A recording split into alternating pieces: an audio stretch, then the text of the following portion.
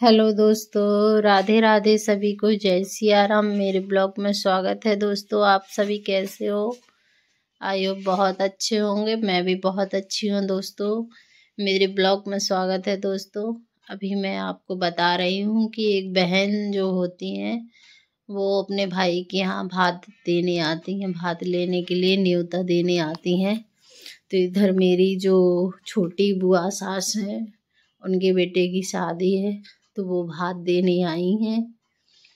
ये देखो तो ये मेरे ससुर जी हैं जो सर पे डलिया रख के आती हैं उसमें माठे भरे हुए हैं। वो, वो उनकी डलिया को उतारते हैं उस पर सौ रुपये डालते हैं।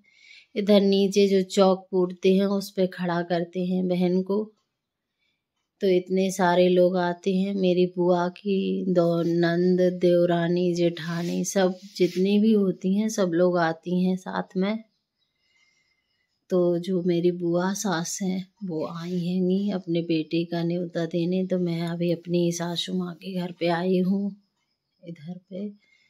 तो मैं वो अंदर आई, भात दे, भात का न्योता देने आई हैं कि मेरे यहाँ भात लेकर आना शादी में। तो ये उनकी ननद है, सब लोग अंदर आ रही हैं दोस्तों। तो इसी का ब्लॉग बनाया मैंने दोस्तों, मैंने सोचा चलो आपको दिखाते हैं कि हमारे यहाँ कैसा होता है।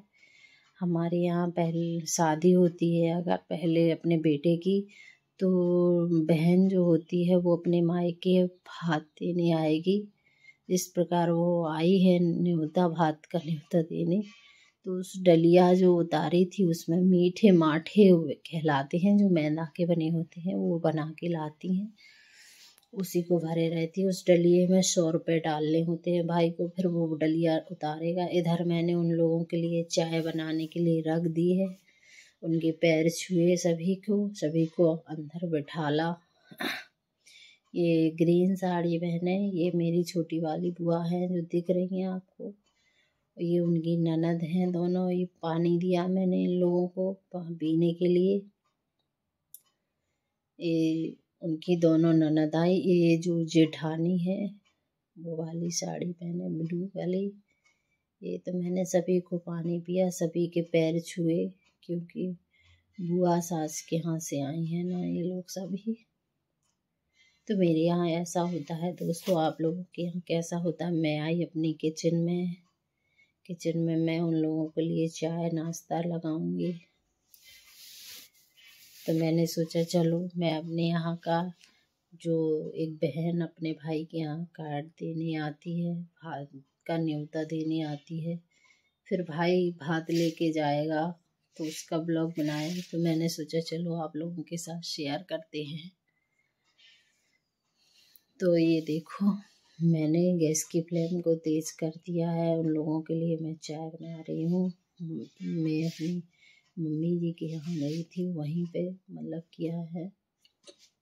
मेरा घर अलग है। मैं अलग रहती हूँ। दूसरे दो घर हैं मेरे यहाँ। तो मैं दूसरे वाले घर पर रहती हूँ। इधर मैं पहले यहीं पर रहती थी मम्मी जी के साथ। फिर वहाँ पे छोटा वाला देवर रहता है। और मैं यहाँ पर रहती हूँ तो इधर मेरी चाय बन रही है उन लोगों के लिए। मुझे बहुत गर्म वो लग रहा था तो मैंने अपनी साड़ी से ही पकड़ लिया इसको। फिर मैंने इन लोगों के लिए कढ़ाई और चम्मच दिख रही। मैंने ऐसी जगह फ़ोन रखा, किसी को दिख भी नहीं रहा था। और मेरी वीडियो भी शूट हो रही थी तो इधर मैं उन लोगों के लिए नाश्ता लगा रही हूँ, बिस्किट और वो।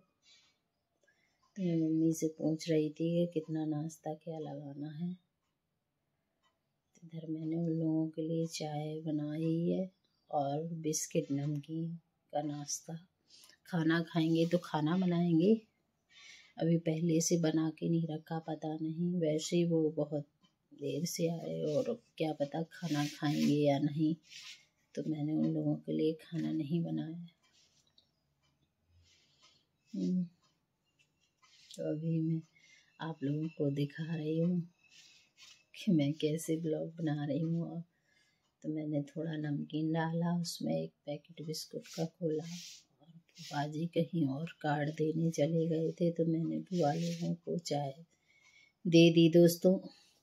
इधर मैं उन लोगों के लिए भी चाय लेके जाऊँगी, बुआ लोगों के लिए तो वो बुला रही थी तो मैं थोड़ा वहाँ को गई देखने, फिर के अपनी किचन में आई और मैं लोगों के लिए चाय बना के अभी देती हूँ।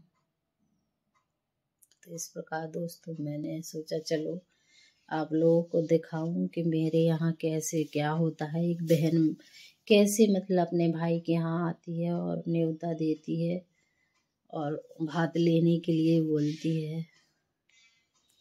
तो बताती हैं वो कि हमारे यहाँ कैसा होता है। तो बहुत सारे लोग थे। ड्राइवर फूफा जी और दो फूफा जी बुआ जी की दो नंद मतलब मेरी पपुआ सास की दो नंद, सभी लोग थे तो उन लोगों के लिए मैं इधर पे फिर मेरी चाय पक चुकी थी, नाश्ता भी लग चुका। तो मैंने अपने बालों को किया फोल्ड, क्योंकि बाल गीले थे तो खुले रखे हुए थे इधर मैंने अपने बाल फोल्ड करके क्लेचर लगाया, एक बहू की तरह रेडी हुई। अब मैं इस चाय को छानूँगी उन लोगों के लिए। फिर मैंने सोचा, चलो, ये पॉलीथन की वजह से आपको दिख नहीं रहा होगा। तो मैंने वो हटाई। मुझे गर्म लग रहा है बहुत ज़्यादा। तो मैं संसी उठाई। संसी से मैं चाय छानती हूँ कब मैं उन लोगों के लिए? सभी को चाय दूँगी। पता नहीं माता जी कैसा है चाय का हत्ता रखे हुए एल्यूमिनियम का बहुत गर्म लग रहा था। उससे चाय भी सही, इससे वो नहीं बन रही तो मैंने एक लोटे में चाय छानी, फिर सभी कपों में डाला। अच्छे से फिर उन लोगों को चाय देंगे देंगे। चाय बहुत कम बनी हुई थी तो मैं दोबारा बना दूँगी। जिसको कम पड़ जाएगी, अभी इतना ही लेके जा रही हूँ। तो मैंने तीन कप, चार कप में चाय छान के ले जा रही हूँ नाश्ता उन लोगों के लिए। ये देखो तो मैंने थोड़ी सी बिस्किट, नमकीन, इधर लेके आई बुआ लोगों के लिए। तो ये उनकी ननद बैठी हुई है, बूढ़ी दादी सी। तो मैंने ये रख दी है चाय उन लोगों के लिए। मैंने उन लोगों के लिए ये चाय रख दी है दोस्तों। इधर मैंने उन लोगों से थोड़ा बातचीत की। मैंने कहा, चाय पियो, बुआ कितनी तारीख की शादी है? ये सब बातें सब माँ, ये मेरी सासू माँ है, येलो कलर की साड़ी पहने हुए हैं। ये बुआ की ननद है सामने जो बैठी हुई है हंस रही है। ये बगल में जो है वो जेठानी है, ये वाली। और यहाँ भी उनकी ननद बैठी हुई है ये। तो मैं आपको इन सबसे मिला दिए हैं दोस्तों, ये सब आई हैं। फूफा जी आगे रूम में बैठे हुए हैं। तो ये लोग अपना कार्ड देने आए हैं, भात का। तो मैंने आप लोगों के साथ शेयर किया, दोस्तों कमेंट करके बताना कैसा लगा, आप लोगों के यहाँ कैसा होता है? हमारे यहाँ ऐसा ही होता है।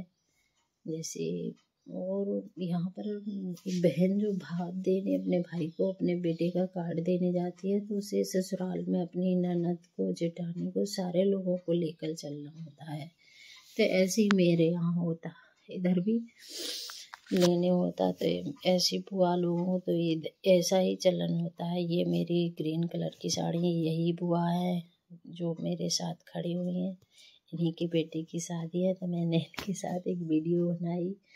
ये उनकी जेठानी है, वो भी हंस रही हैं बगल में। मम्मी जी हैं, ये दोनों खड़ी थी तो मैं इन लोगों का वीडियो बना रही थी। फेस दिख रहा होगा। ये एक पड़ोस की चाची है, वो भी आई थी। तो ये ये बीच में आ गई तो मेरा थोड़ा वीडियो सही से नहीं बन पा रहा था। बट मैं बनाती जा रही थी, उन लोगों से बातें भी करती जा रही थी। अब वो लोग ने नाश्ता, चाय माय सब कुछ कर लिया है जाने की तैयारी हो रही है दोस्तों। तो मैंने इन लोगों के पचास पचास रुपए से पैर, सारे लोगों के सौ सौ रुपये सॉरी पचास पचास बोले सौ सौ रुपये से पैर छुए। उनको तिलक लगाया, उनको विदाई दी। तो वो डलिया वापस लेके जा रही थी क्योंकि दूसरा भाई है पापा के, ससुर जी के तो वहाँ लेके जा रही हैं। तो उसमें से उन्होंने मुझे कुछ निकाल दिए हैं। इधर मैंने उनकी विदाई की। ये देखो, ये इस तरीके से वो गाड़ी में आई थी। तो उनके सबको तिलक लगाया सभी के पैर छुए सौ सौ रुपये से और उनको विदाई की उन लोगों की। मेरे यहाँ मौसम इतना ख़राब है, बहुत ज़्यादा। बारिश कैसा? तो ये देखो उन लोगों को गाड़ी में बिठाया। उनके पैर छुए, उनको बाय बोलेंगे इस तरीके से। होता है दोस्तों तो मैं आप, उनके आने से लेकर उनके जाने तक का पूरा ब्लॉग बनाए हैं दोस्तों, पूरा देखना। बहुत अच्छा लगेगा। आप लोगों के यहाँ कैसा होता है कमेंट करके ज़रूर बताना, कैसा लगा दोस्तों ब्लॉग लाइक करें, शेयर करें, सपोर्ट करें दोस्तों। तो इस तरह कैसे वो लोग सभी गाड़ी में बैठी। मैंने सभी से आपको मिलवाया है। मेरे यहाँ कैसा एक बहू का फ़र्ज़ निभाना बहुत मुश्किल है यार। क्या क्या बन जाते हैं तो इधर मैंने उन लोगों के पैर छूने गई तो मेरा कैमरा हिल गया। बुआ लोगों को तो मैं थोड़ा ढंग से शूट नहीं कर पाई दोस्तों, इस पर फोकस मत करना। आगे देखते रहना बहुत अच्छा लगेगा भाई। सीधे मेरी सासू माँ है। ससुर जी बोले, हट जाओ, मैं गेट लगा दूँ। तो मैंने कहा, ठीक है, मैं हट गई। ये बुआ बैठी सामने, मैंने उनसे बाय बोला, गाड़ी चली गई दोस्तों, उन लोगों की विदाई भी कर दी सभी की। इधर वो चावल जो